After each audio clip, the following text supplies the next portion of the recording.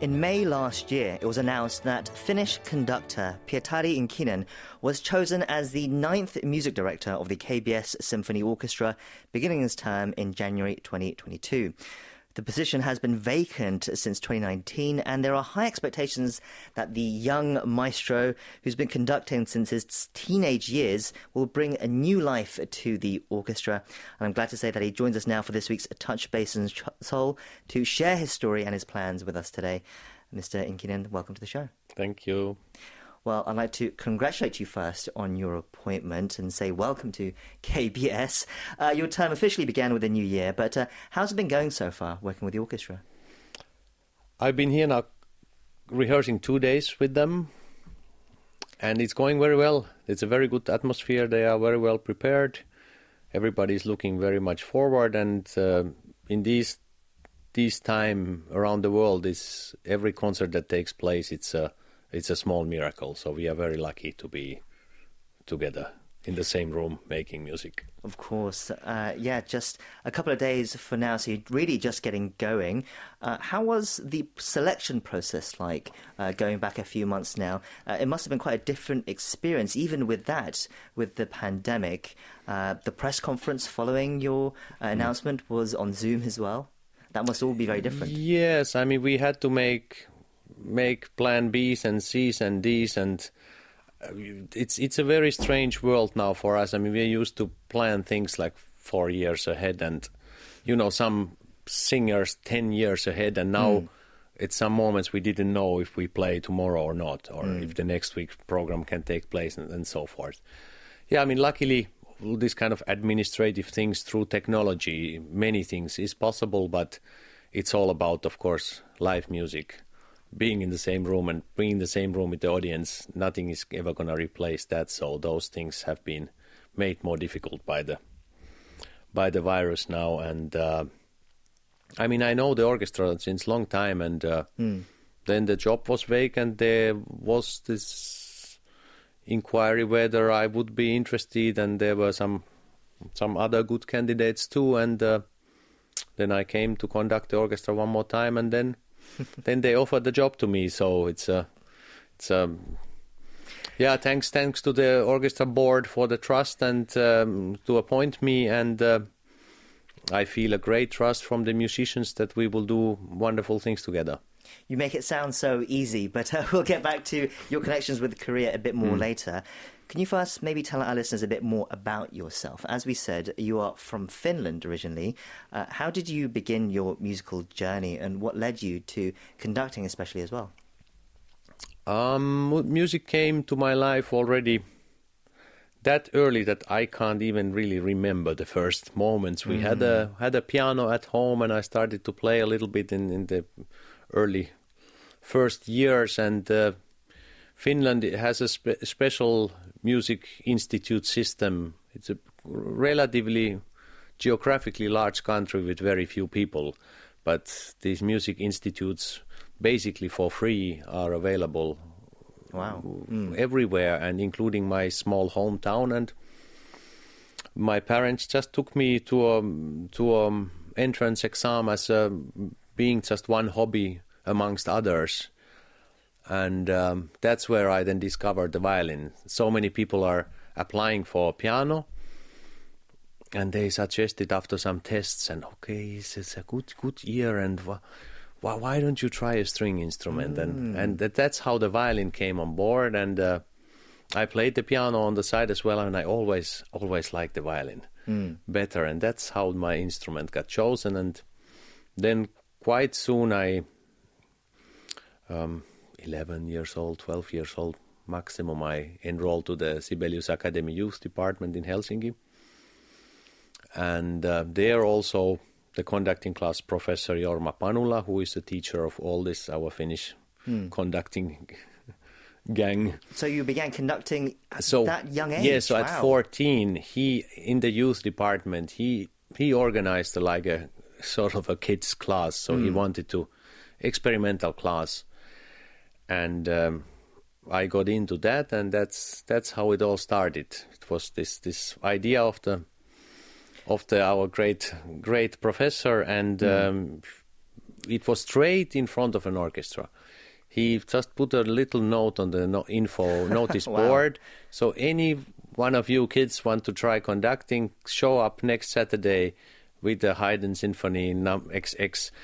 Uh, don't remember which one score, and mm. we'll be there with the conducting class orchestra, and off you go straight away in front of the band without any experience. And he was there with he with the video camera mm. filming all of us, whatever, twenty kids, and chose then three three of us as his sort of Sure. sort of Okay. private pupils in the mm. in the academy, and that's how it all started, and was a great experiment. Now.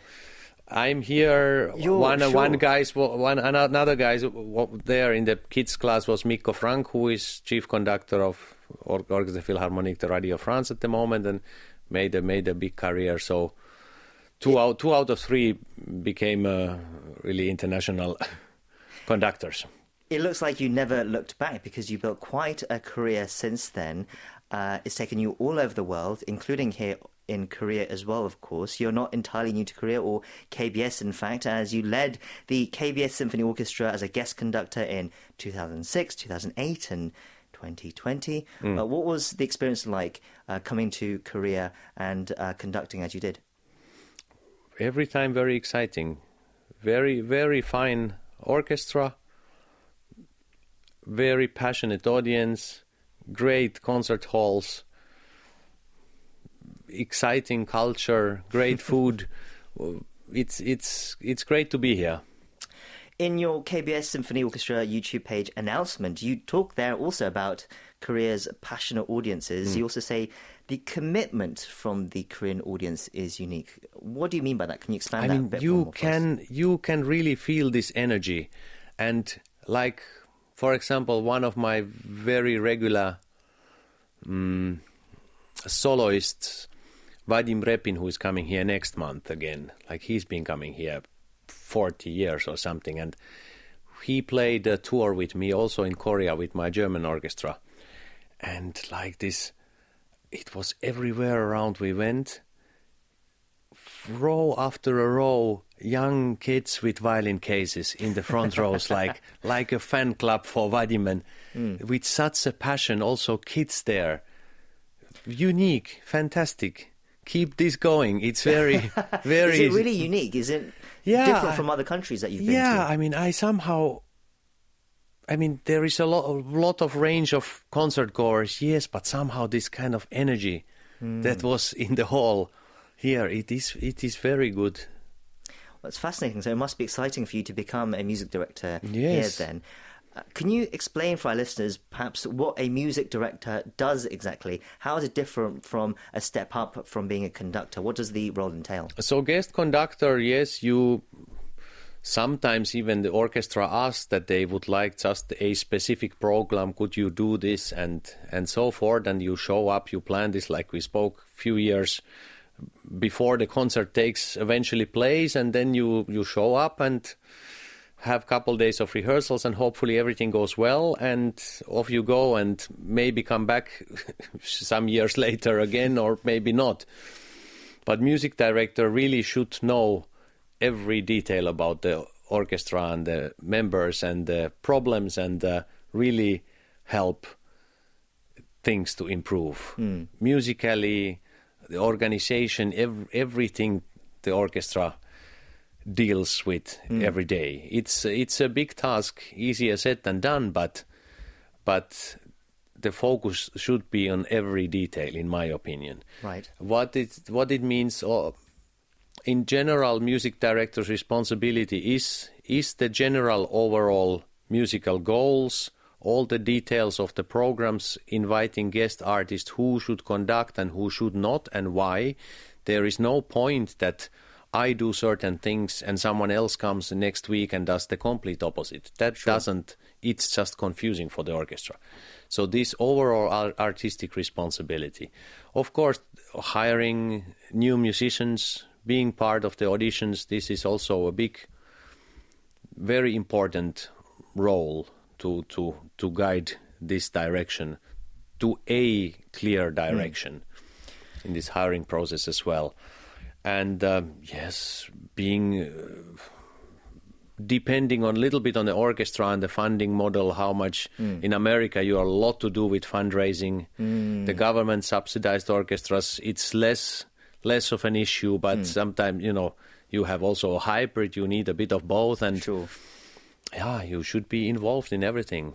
And some of these, a lot of this stuff can, of course, be done via technology, and some of it's some of it's more efficient when you are there. And Right, of course. so You talk about directions and goals. What goals and directions are you going to be setting for uh, KBS Orchestra? I I try to be in the next years more and more physically present here, also throughout the country, performing not only in Seoul, and throughout. Of course, there's a great advantage being a broadcasting orchestra, the reach to the whole population through TV, radio. Again, through technology is is an asset which many orchestras don't have, like we do here. So we should, of course, use all of this pot- potential. Do you want to bring changes? Do you have some idea of how you want to uh, put your stamp on this orchestra? Yeah, I mean, the quality, the, the, at the end of the day, this high standard of playing and even pushing that higher and higher, hmm. that's what really excites at the end. And that's what bring, bring people back to the hall. There are no tricks, really. I mean, you can play. So you're not going to be trying something different color of music or yeah, I mean, directions. Yes, I mean the repertoire decisions are also important. Hmm. You should not take the easy routes, and you should challenge the audience as well, especially once they start to trust you that with this guy, it's it's gonna be good, and it doesn't really matter what we play, and they come. This is the this is the point you want to be at. That the public trusts us Hmm. that we deliver always something good quality and exciting on stage. It doesn't wa- matter what we play and that's that's for sure a, a big goal to reach this point. and also not only in korea but uh, internationally too that we will be more and more noticed that oh they, those guys are doing something special that that would be a great achievement when we get to that point Sure. And finally, what do you hope the audiences here in Korea take away uh, from the KBS Orchestra during your tenure? I I hope that they will after a concert run faster and faster to buy a ticket to the next concert. Sure, okay. Well, it's been an absolute pleasure to have you on the show today. We look forward to what you will do with the KBS Orchestra going forward. Uh, we've been speaking to uh, Pietari Inkinen, the new music director of the KBS Symphony Orchestra. Thank you for your time once again today. Thank you. 감사합니다.